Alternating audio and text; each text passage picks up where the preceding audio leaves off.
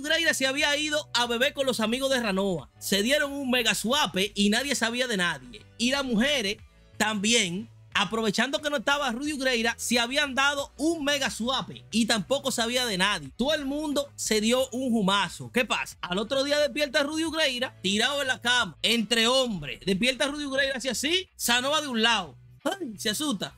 Y dice Rudy Greira, ¡ta! Clic del otro. dice, ay, Rudy, ay, Dios mío, lo hice. Pasé esa línea con los muchachos. Pero cuando hace Rudy Greira así, no, espérate, espérate, me acordé, me acordé. Era haciendo el guante que estábamos, dice Rudy Greira. Era haciendo el guantelete que estábamos, dice Rudy Greira. Tranquilo, no me han partido las nice. Se para Rudy Greira, ve el guante y dice, no, no, no, este guante está bien. Y esta modificación que le hicimos ahora tiene una vaina para yo poner una piedra, tiene magia y de todo. Y también se tira, dice Rudy Greira. Wow, el guante se tira puedo tirar el guante y de todo. O sea que con este guante ya tengo ahora más poder. Ya. Con esta prótesis y toda la vaina. Sanova había estado de acuerdo y también Cliff que iban a trabajar para mejorar la armadura. Así que todo bien. Está Rudy Ugreira, se tira magia de, de, Siempre se me ve esa palabra. Se tira la magia para quitarse el humo. esa palabra me complica cuando estoy en vivo. Cuando estoy solo la digo bien. Ok. Se tira Rudy Ugreira la magia para quitarse el humo. De desintoxicarse. Se me va esa palabra, señores. Cuando estoy en vivo nada más. Ok.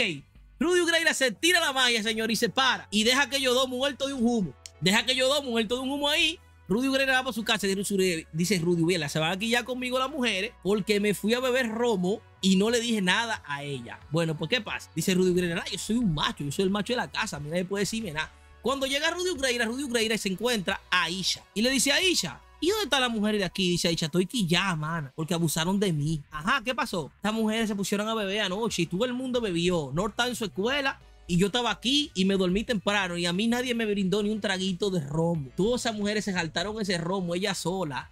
Y a mí no me ofrecieron ni la hora, dice Rudy Ugreira. Wow, qué abusadoras son estas. Sí, lamentablemente no me dieron nada y vivieron romo. Dice Rudy Ugreira, ok, está bien, déjame a despertarla. Pero cuando Rudy dice voy a despertarla, está bajando él y la escalera le dice Rudy Ugreira, Eris, mira, aprovechando que tú estás aquí, muchacha, yo quiero pedirte un favor, yo no sé si te molesta. Quiero que tú y yo hagamos como en los tiempos de antes. Sí, ¿cómo así? Yo quiero que tú y yo, como en los tiempos de antes, cuando éramos Ruiger, tú y yo entrenemos a los palos, a los palos. Yo quiero ver en una sesión de entrenamiento ¿Quién de nosotros es más fuerte de verdad, verdad? Para que todo el mundo salga de la duda. Sí, sí, dice Eri, diablo, yo estaba loca porque comprobáramos eso. Dice Eri, es que no me aguanto la gana. Estoy loca porque comprobemos quién es más fuerte de tú o yo, dice Rudy Ugreira. Sí, sí, Dale, agarra a los dos muchachos y salen para el patio a entrenar. Dice Rudy Ugreira, óyeme, no es por nada, no te encojones conmigo, pero voy a usar todo mi poder menos la armadura. Lo único que no tengo es la armadura, pero te guarda con todo. Dice Eri, como tú quieras, tírala. A lo que tú quieras, dice Rudy Greira, dale. Que comience. Cuando Rudy Greira iba a decir el combate, ya Rudy Ugreira había visto como Goku. Cuando Goku se desaparece, así la sombra. Cuando Rudy Ugreira, que comience el combate, ¡pam! Se acabó, se acabó. Ya Rudy Ugreira estaba en el piso inconsciente. Hubo que darle dos horas, echarle un jarrito de agua para que se despertara. ¡Pam! Rudy Ugreira dice, espérate. dice, dice Rudy Ugreira, diablo, pero yo me acuerdo que cuando yo dije que comience el combate, yo vi que tú te desapareciste y que el cuerpo no se te movía. Y yo nada más sentí el fuetazo, le dijo Rudy Ugreira. No, pero está bien, hay que seguir entrenando porque yo estoy entrenando para mejorar. Así que vamos al round 2. Dice Rudy hey, voy a atacar con magia de verdad. Dice Rudy Guerrera, magia de, Ranoa. Fuego. Boom, Eri le gana. Magia de Ranoa. Eh, lluvia de, de agua, escarcha. Tum, Eri le gana. Dice Rudy Ugreira, coño, voy a ir en serio contigo, no quiero regresar contigo. Pantano, pum, Eri le gana. Dice Rudy Ugreira, oye, voy a ir de verdad en serio con el hechizo que me enseñó Rosy. Relámpago. Eri se agarra de la espada, aguanta el tornazo, pum, y le gana. Eri le gana a Rudy de toda la manera. Dice Rudy, miel. dice Rudy, mierda, coño.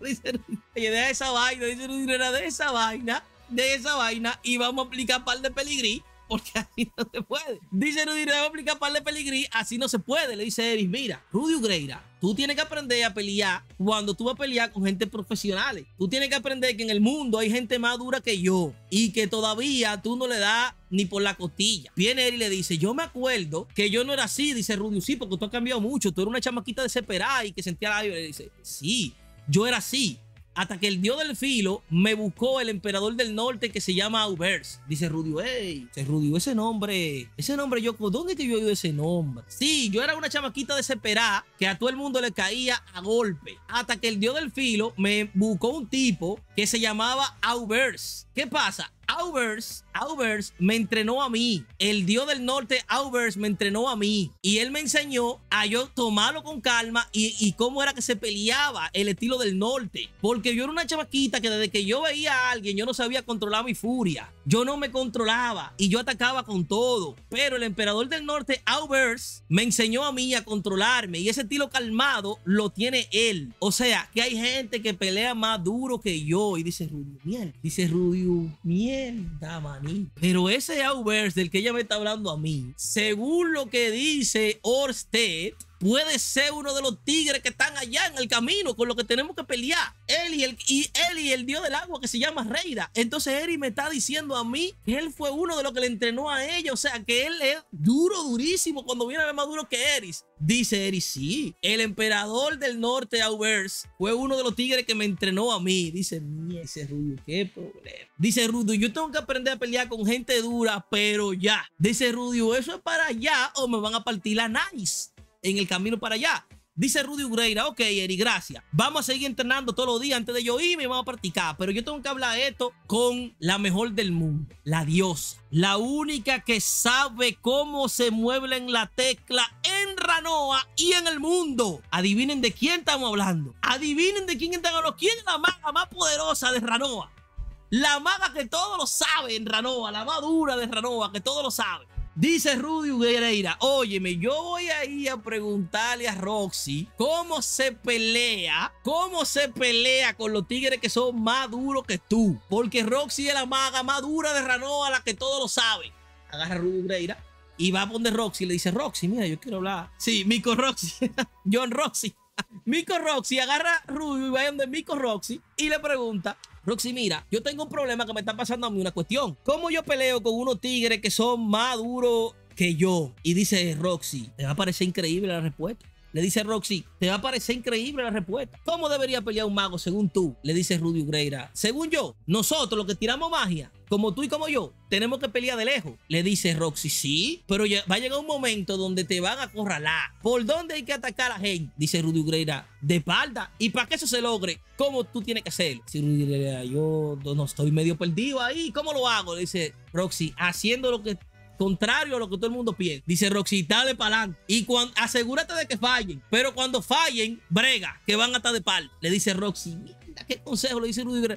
Practica eso. Practica eso con Eris, que fuerte. Va a ser difícil. Pero cuando ella tire para adelante, esquiva alguno, pero no todito lo esquive, tiene que darle para adelante. El que se te fácil, esquívalo y acércate. Los fundazos que son fuertes, trata de que no te degranen del primero, pero los otros trata de esquivarlo y acércate.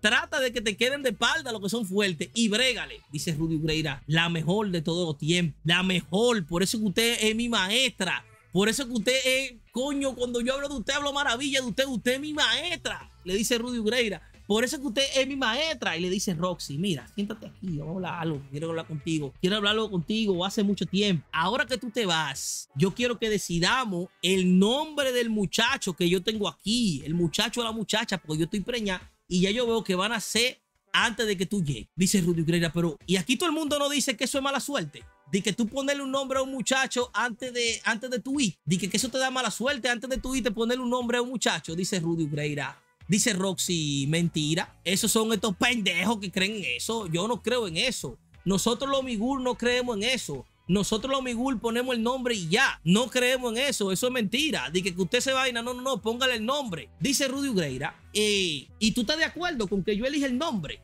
Le dice Rudy Ugreira, tú vas a dejar que yo le ponga el nombre al muchachito o a la muchachita. Le dice Roxy, oye, como, eh, papi, la vaina mi rey. Sabes que yo no soy muy amorosa, lo mío no es vaina, pero papi, yo soy tuya. Le dice Roxy a Rudy Ugreira. Papi, yo soy tuya, tú esto es tuyo, tú esto es tuyo. Tú eres el que sabe aquí de mi vida, eres tú, Romeo. Tú esto es tuyo. Yo lo que tú digas, eso es, porque es que aquí nosotros tenemos que hacer lo que diga el don de la casa.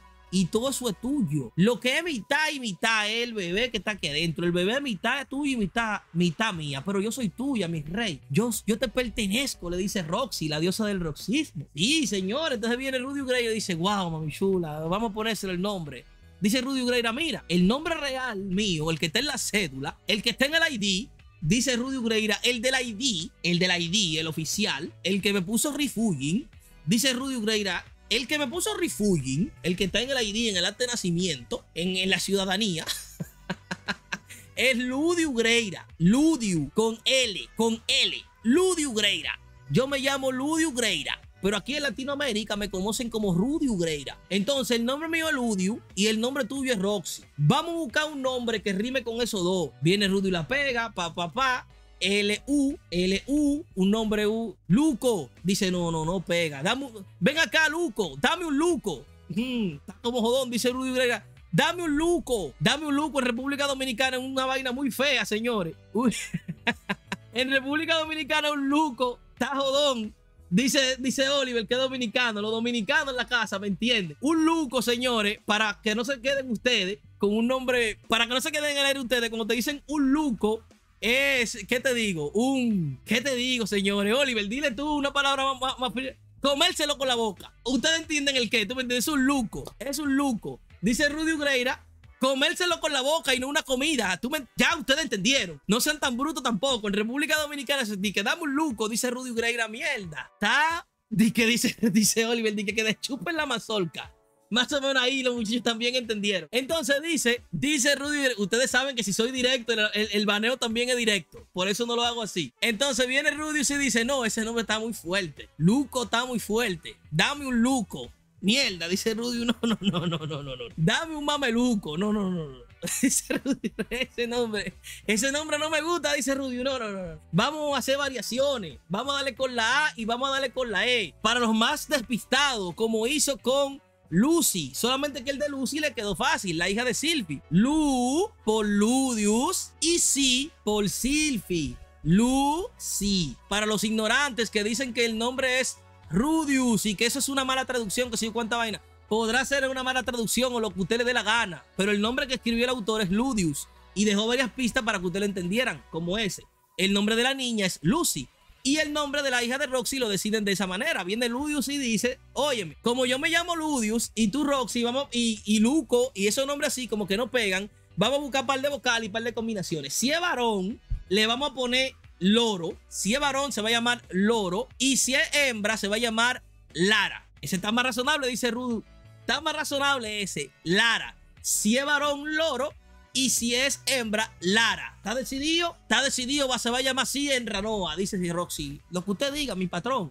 Mi papá, eso es. Ese día se pusieron de acuerdo los muchachos y le dejaron el nombre. Rudy Ugreira, señores, había mejorado la armadura la armadura de combate también estaba lista. Era algo muy pesado, un problema que tenían que resolver. Cliff había iniciado ya con los tratamientos de Orsted para quitarle la maldición. Ya Orsted se había puesto en mano de Cliff para que Cliff bregara con su maldición para ver si se la quita y la gente puede conocer a Orsted desde otra manera. Después de ese día, pasan la famosa dos semanas y llega el día, señores, donde Ariel Nemoy Azura reúne su equipo. ¿Quiénes estaban en el team? En el team Ariel, Ariel, Silphy, y las secretarias que habían hecho los mandados en el manga número 77, 76, que fue la que investigaron el pasado de Lina Liz. Ese era el equipo que tenía Ariel. Eso sí, eso sí. Cuando Ariel anunció que se iba de la ciudad y que iba a combatir por el reino de Azura, salieron los carniceros, los vendedores de pollo, los del supermercado, salieron los bodegueros, salieron los vendedores de chicharrones,